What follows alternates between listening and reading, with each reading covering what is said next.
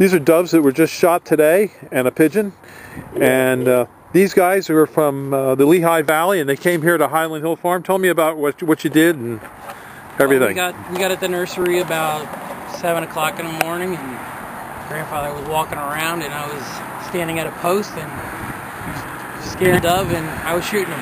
And We got them all. He got one. how many did you get today? Uh, we got eight and a pigeon. And last week when you came? Last week we got 28. 28 on last Saturday. That was good. Yeah, okay. was good And what was the deal for you hunting here? Uh, we had to bring two, four, four by four by eight posts, fence posts. So we brought those, and Bill was kind enough to let us hunt on his land. Yep, yeah, that's what you do, and uh, we appreciate you coming and shooting those doves because they're a pain in the butt.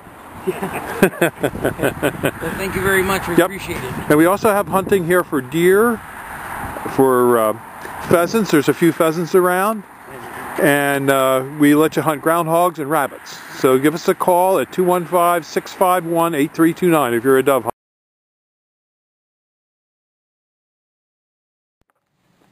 Highland Hill Farm is only about 30 minutes from the Allentown area. Just come down the Route 309 to Quakertown, pick up 313 east and go about 10 miles through Dublin, heading towards Doylestown, and we're, we're between Doylestown and Dublin, close to Doylestown, in a little hamlet called Fountainville.